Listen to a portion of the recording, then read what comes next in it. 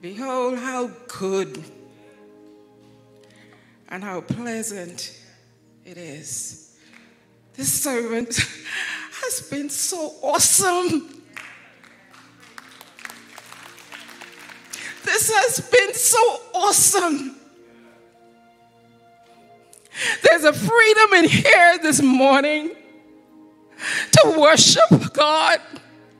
I sat and I said, you know, one of these Sundays, we are going to be in here and we're going to go until three o'clock.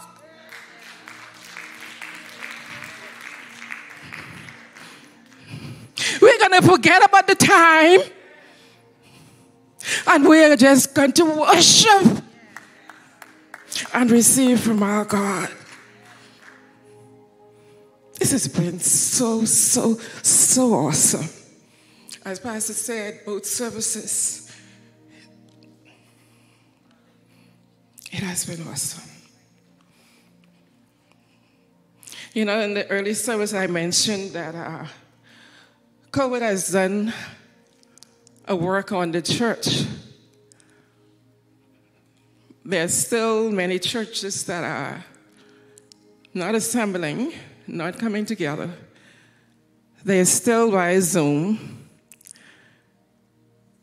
If you have been following the news with Canada, I'm sure there are some other countries, I think Australia as well. But in those countries, they don't have the freedom that we have.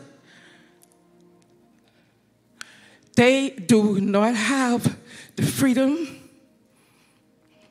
to leave from home and say, I'm going to church to worship my God.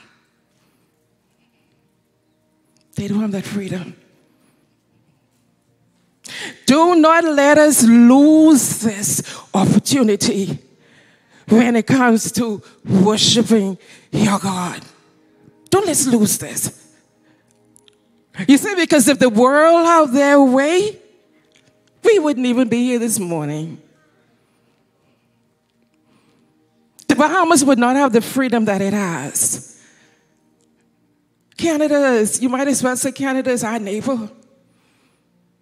They don't have the freedom that we have to worship. They are putting pastors in prison. Not because they came into the sanctuary to worship because they were worshiping in their homes. In their homes. We got a lot to give God thanks for. We got a lot to give God thanks for. Every opportunity that we have to praise Him, let's praise Him. And you see, one thing with us giving God praise we don't have to be nowhere special to praise Him. You could be in the, in, in the grocery store and you could just send up a praise. You could be at the light, the traffic light, and you could give up a praise. In the doctor's office, you can give up a praise. When you think of what God has done for you, when you think of what God is doing for you, when you think of the promises that He has for you, and as we have sung this morning, He can't fail. All of those promises for us, they are yea and amen. We got plenty to give God praise for.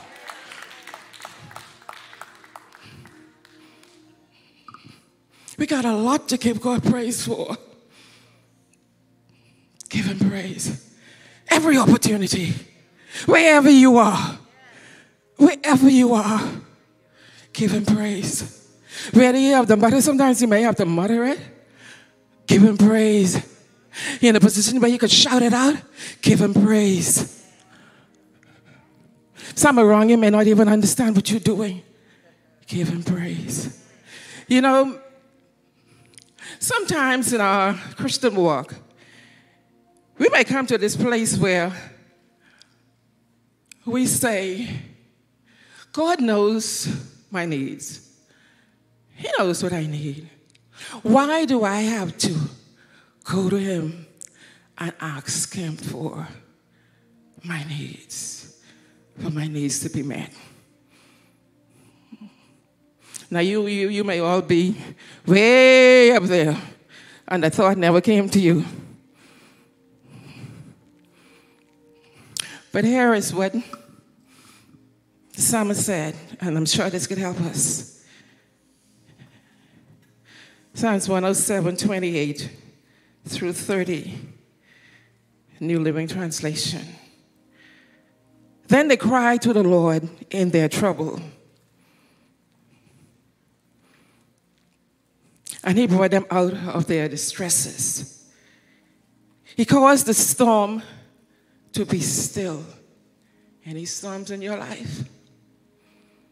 So that the waves of the sea were hushed. Then they were glad because they were quiet.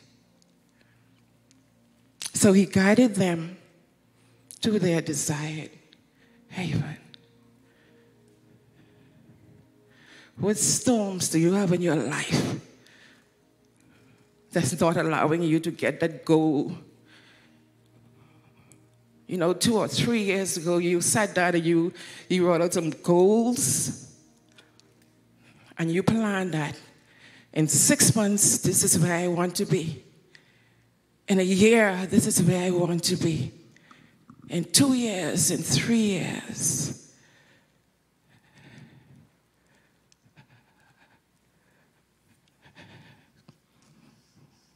What was the, the barrier for you getting where you had planned to be?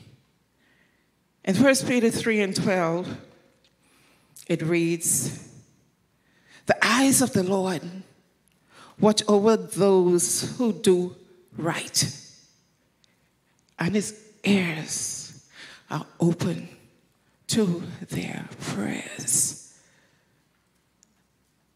Our God's eyes are always on us. So, the question I asked earlier God knows. He knows what we are in need of. As I was going through the New Testament, I saw where there were several stories of particularly blind men who sat on the side of the road begging alms. This morning I wanted to look at one special account.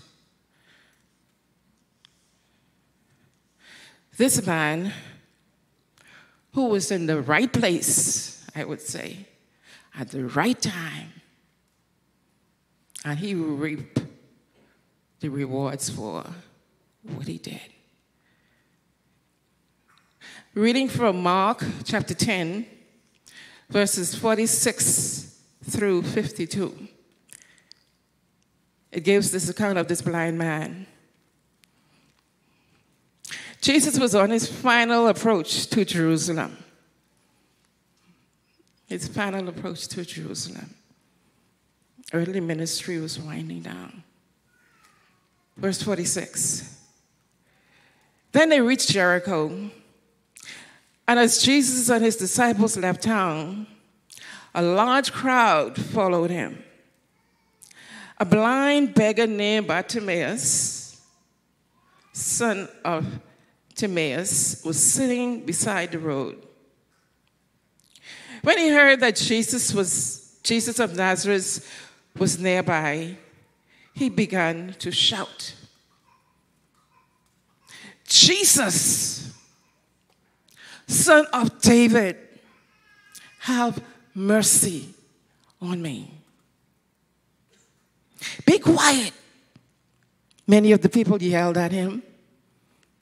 Many of the people yelled at him. But he only shouted louder Son of David, have mercy on me. When Jesus heard him, he stopped and said, Tell him to come here. So they called the blind man. Cheer up, they said. Come on, he's calling you.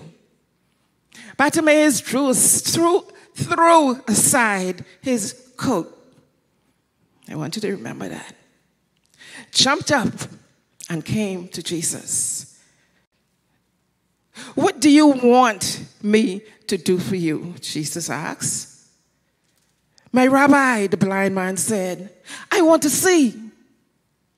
And Jesus said to him, Go, for your faith has healed you. Instantly, instantly, the man could see and he followed Jesus down the road.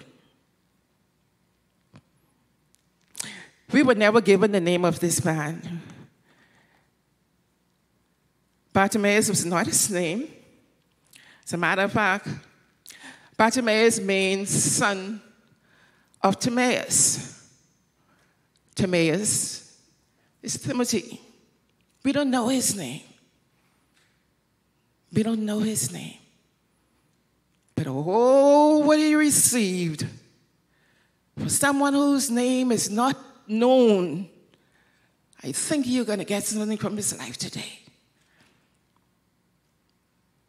The blind beggar heard people talking about the miracles that Jesus wrought. And I don't think that this blind man was really in conversation with people talking about all the miracles that Jesus performed. I think he just overheard them because he's sitting on the side of the street. So obviously, when, when people pass by, they're talking about this man Jesus, and he healed the blind, and he, he healed the lame, and he did this and he did that. And I think all of that stuck in Bartimaeus' mind. And I could just imagine him sitting on the side of the road with no friends to take him to Jesus. And he is in, in his mind, he's saying, I want to meet this Jesus. This Jesus who's performing miracles. This Jesus who's making the blind to see. This Jesus who's making the lame to walk. I want to meet this Jesus. And lo and behold, on Jesus's heading out to Jerusalem. That means Jesus was not going by him again. He didn't know that. But he used the opportunity to try and get Jesus' attention.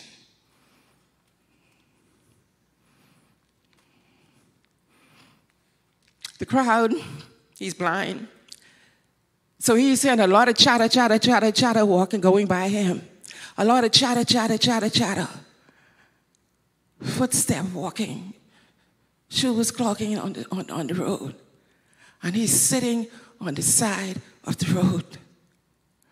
And he shouted out, Jesus, son of David, have mercy on me. Now you got to put the picture this in your mind. The way I picture this a crowd coming down the road. And if you remember the crowd that was with Jesus in his ministry, it was a 5,000, there was a 7,000, there was always a crowd. So this man who was sitting on the side of the road was below all of those people. Some of them passed him and didn't even pay attention to him, paid no attention to him. But he said, he shouted out, not just said, he shouted out, not knowing where Jesus was, not knowing if Jesus was just a feet away from him, not knowing if Jesus was on the other side of the crowd, on the other side of the street, not knowing if Jesus had already passed him and was way ahead of the 5,000 or the 7,000 or the 10,000, whatever it was. Not knowing if Jesus maybe was at the back. Didn't know where Jesus was. But he knew he needed to get Jesus' attention. He knew that the man who was given was, was healing the blind. He knew that the man who was healing the lame, he knew that this was his opportunity to get Jesus' attention. So he cried out, Jesus, Son of David, have mercy on me. The man needed a savior. He needed a miracle worker. He needed a healer. He needed all of that. But those around him who heard him calling out to Jesus, those who look at the blind man sitting on the side of the street, I don't know if it was because they were selfish. I don't know if they didn't have no compassion, they were no empathy. I don't know what it was. But they told him, be quiet. Jesus was in the ministry of performing miracles. I am sure they had seen many miracles that Jesus performed. And this blind man sitting on the side of the street, sitting way below them, he's crying out to Jesus. And they said, Be quiet. I don't know what it was.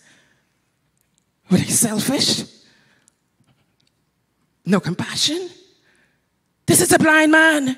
This is Jesus who can heal this blind man, can, can, can give him his sight.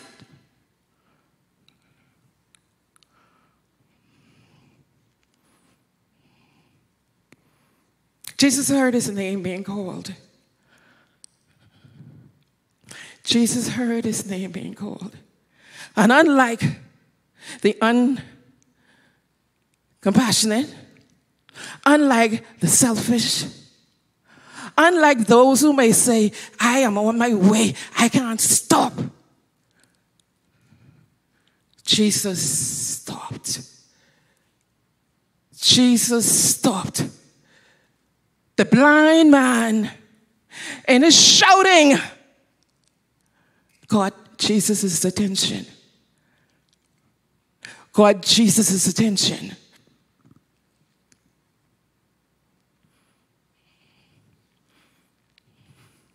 When Jesus heard the man, immediately he stopped. Immediately he stopped. And Jesus told them, Tell him to come. Tell him to come. Tell him to come. I could just imagine those who were right next to the man telling him, Be quiet. They were the very one who took the man to Jesus. You got some people in your life who are detractors. You got some people in your life who are telling you, why are you shouting? You don't need to be shouting and calling on the name of Jesus that loud. You got some detractors like that in your life. You got those, you know, on the on the job, and many people go to go go to um, to work and they try to do their devotion before it's nine o'clock or eight thirty or eight o'clock, whatever your time is to start work. And sometime your devotion may run into your working minutes. and you may have that supervisor who come to you and said, you know, I don't mind you doing your devotion, but you need to cut it down. You're doing it too often. You don't have to do all of that.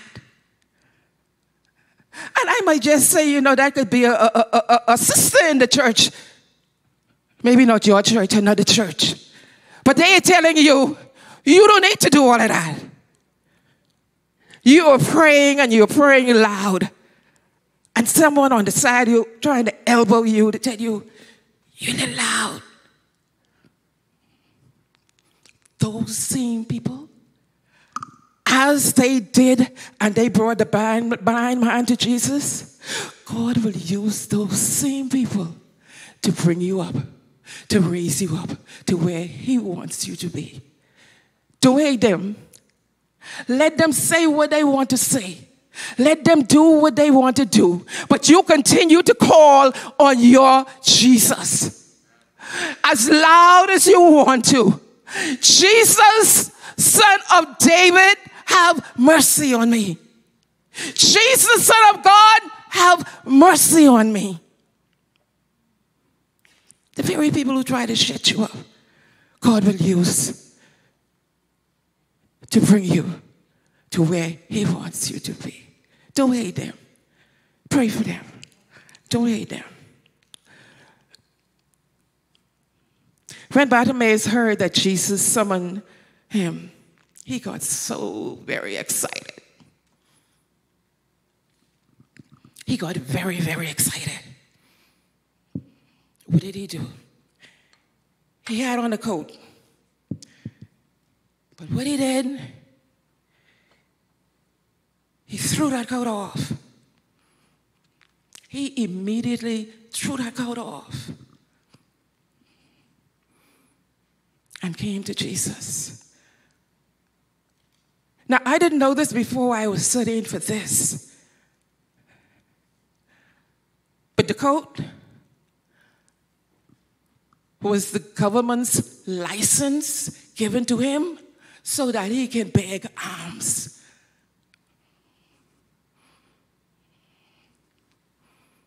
The coat was licensed for him to go on the side of the street and beg alms.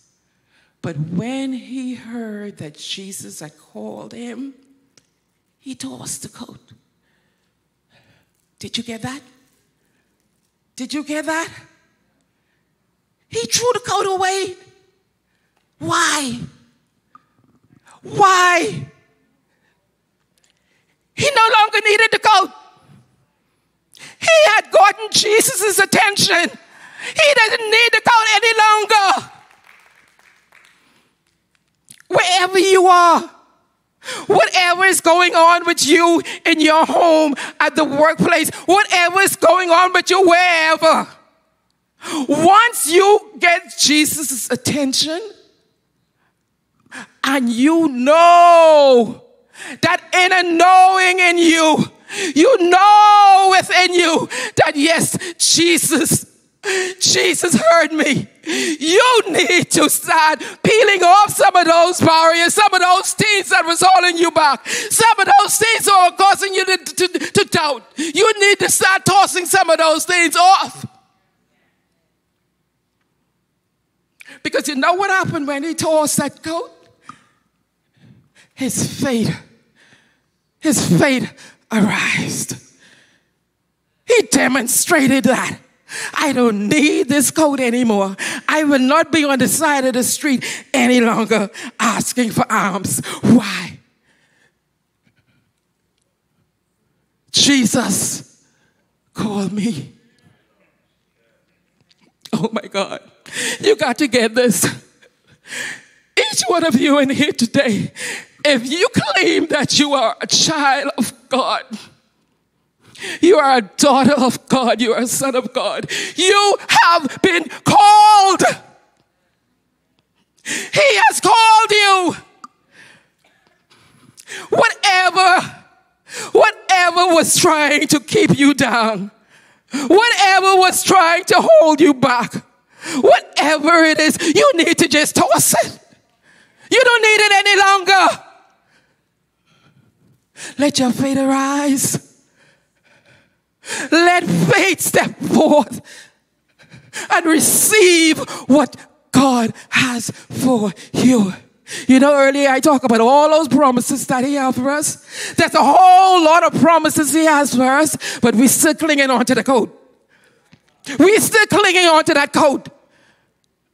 So we don't have, we're not demonstrating, we're not making no room for the promises to be fulfilled, to be manifested in our lives. Get rid of the coat. You got a coat with you now. You, do you have a coat? Think about it. What is it you're clinging to? Get rid of it. You're asking, you're calling out to Jesus and you're asking him for something. Just do an in, in, introspection. Just look at yourself. What is it you need to get rid of? What is it you need to get rid of?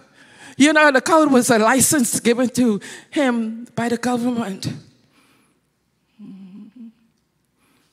Have the government given you a, don't get offended, have they given you a social services card? Have they given you a social services card? But deep down within you, you want a job. So when you call on Jesus, you're calling on Him and saying, Have mercy on me. I need a job. I don't want to be depending on this coat any longer. I want to get rid of this coat. I want to get rid of it. It's holding me back.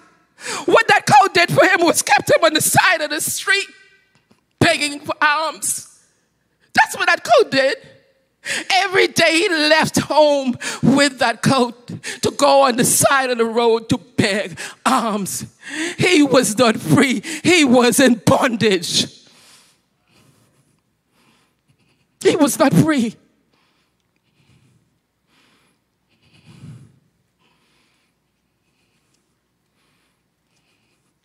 He threw off his coat and came to Jesus. Jesus, the omnipotent, the omniscient, the Alpha and Omega.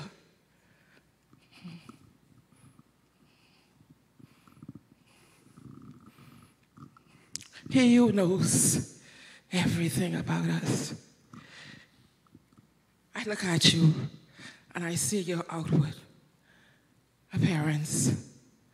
Jesus looks at you, he sees your heart. He sees your heart. Nothing escapes him. Nothing escapes him. He called for this man. What do you want me to do for you? Jesus asked him, What do you want me to do for you? If someone, a billionaire, millionaire, billionaire, were to have a blank check and were to say to you, in this recessionary economy, what can I do for you? I am sure if you know that this billionaire was in the position to do anything for you, you would not hold back. Whatever figure came to your mind, that's the figure you were going to give him.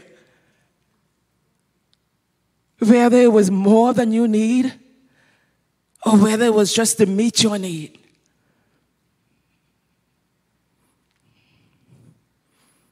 So when Jesus asked the, the blind man, What do you want me to do for you?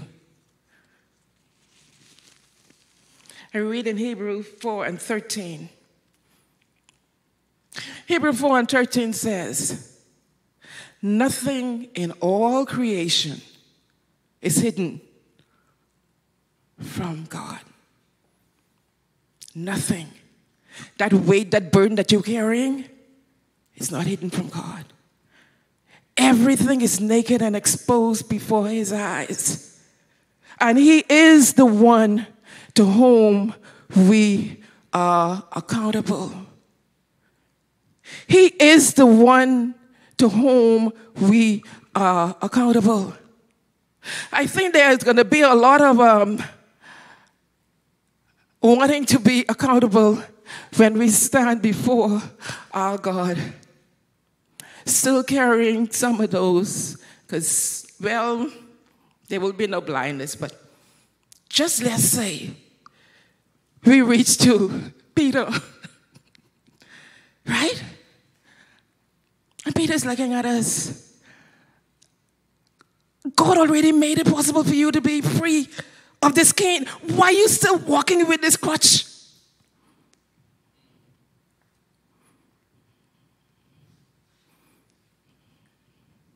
Why were you still, forgive me, why were you still holding on to that card? Why were you still in that position where you did not want to be? You wanted to change job, but you kept it to yourself. We will be accountable for those things. Every time there was a situation in our life today, everything that you are going through right now, and you're not talking to your Lord and Master about it, you could be held accountable. You will be held accountable. You see, if you had a mortgage and you were struggling and struggling and struggling with this mortgage, you can't pay it. And every month, whenever the time came to pay the mortgage, you were struggling and struggling and struggling and struggling with it. And finally, the loan officer came to you and asked you, What happened? And you said, I just couldn't make the payment. What do you think he's going to say to you? So many times, opportunities are there for us. So many times, all we need to do is to just ask our Heavenly Father. That's all. That's all. But we will be accountable. But I don't want you to leave out of here today being accountable for whatever it is you are carrying today. No, you must free yourself of that today. You do not need to stand before God and try to explain why I was still holding on to that. You don't need to do that. Your God, your omnipotent God, your God who has power to do everything, anything.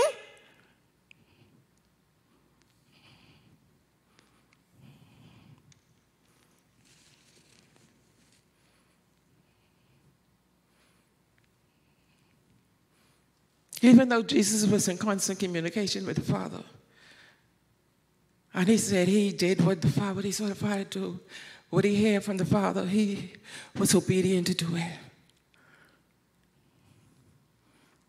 He was obedient to do it. Jesus asked, What do you want me to do for you? What do you want Jesus to do for you? The man simply said, Rabbi, my rabbi, I want to see. He was direct with his request. He didn't go through that long story telling Jesus how he became blind, whether it was from birth or whether he contracted a disease, whatever it was. It was not important at this time. Jesus, the miracle worker, was there. What do you need that I may see? You know all of that stuff that you may have to be going through? You got to explain to this one and explain to the, the, the, next one why you can't do this and why you can't do that. Maybe even to the loan officer why you couldn't make those payments. You may have to, you're, sitting in this chair for 15, 20 minutes trying to explain why you couldn't. And all Jesus requests of you, Beverley, what do you need? All I need to say, Father, on Friday, I need y'all $550. He knows everything. I need $550. I don't have to go through this long, exhaustive explanation as to why I need it. Just tell him. So, what is it? What is it you need today? Jesus stands right there next to you. He said, I'll never leave you nor forsake you. So he's asking you, what do you need me to do for you? What do you need Jesus to do for you? The blind man said, I want to see. The only other comment that came from Jesus after he said, I want to see, and get this the comment that came from Jesus when the blind man said, Rabbi, I want to see.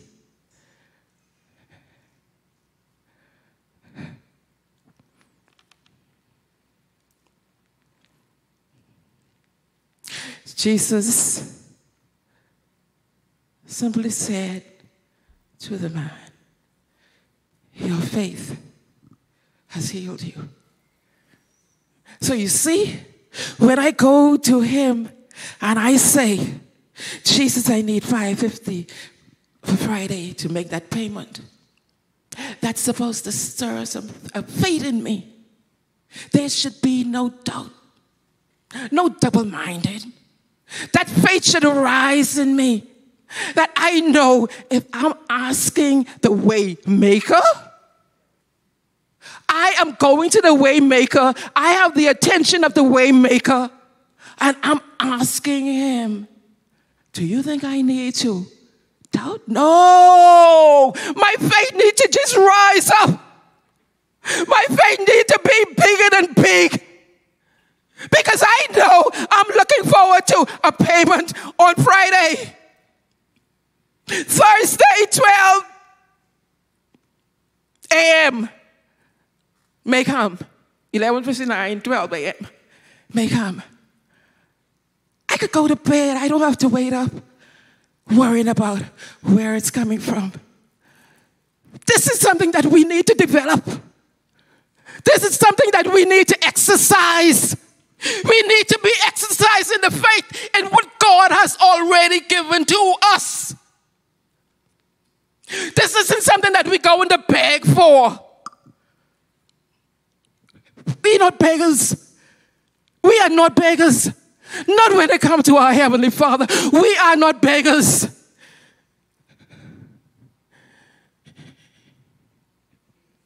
He sits on the throne in heaven. Jesus is making intercession for you. All that you're going through here on earth. What intercession you think he's making if he isn't making intercession for all that you are going through? He is in heaven sitting at the right hand of the Father, interceding for me and for you. And I could just hear him. Oh God, Beverley, just ask. Just ask. Just ask. The Father is willing to give it to you. Just ask. Even though we know what you have need of, we need you to ask. Whatever it is you're going through, whatever it is, ask. Just ask. Just ask. We need to exercise our faith. We need to exercise our faith. And the more you exercise your faith, the easier it becomes. Every day you'll be telling God what you need. And every day you'll be looking forward to it. You'll be looking forward to it because you have faith. You see, this blind man had no doubt that the miracle worker, the one who was healing all those other blind people, he had no doubt that when Jesus asked him, What can I do for you? And he said, That I may see. He had no doubt. He left his coat. He left his coat. He had no doubt that when he leave from there, he would be seeing. He would be saying,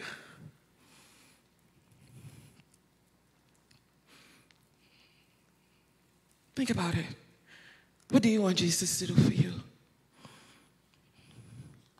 Can you call out to him to get his attention? Jesus, thou Son of God, have mercy on me. Jesus, thou Son of God, have mercy on me. Get his attention. And when you know that you have gotten his attention, as I told the early church, and yes, I experienced it since then.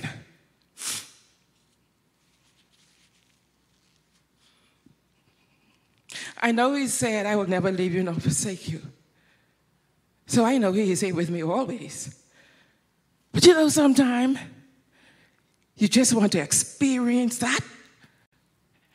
I don't know how it happened for you, where you get a burning in your hand, where you get a burning in your some part of your body. I don't know how you experience when he is there, when you when you know you got his attention. I don't know how you experience it. I know how I experience it. So when I call on him and I say, Jesus, I want to feel your presence. Can I tell you? He never disappoints. He never, never disappoints.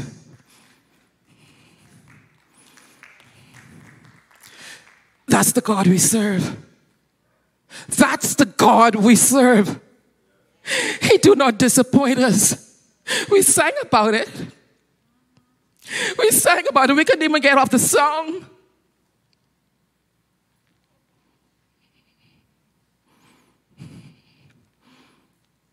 Please leave for me today. Leave for me today and say, I got to exercise my faith more because you're exercising faith. I don't doubt that you were exercising faith, but we need to do it a little bit more. Jesus told us that we will be doing more. Didn't he say we will be doing more? He said that we will be doing more. So we should see more blind eyes open.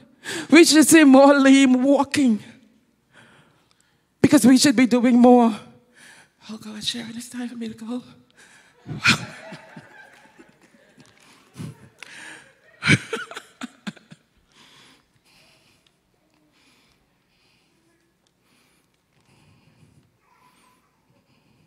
you know, it's my desire. There has been so many prophecy about the temple. You may not have been here to hear any of them, but I heard prophecy about the temple. One particular that I heard that those who were here, I don't think we would ever miss it. Even before this church was erected, the prophecy that there would be people line up on Collins Avenue to get into evangelistic temple. What do you think they're coming for? What do you think they're coming for? They're coming to be amongst people who is who are exercising their faith.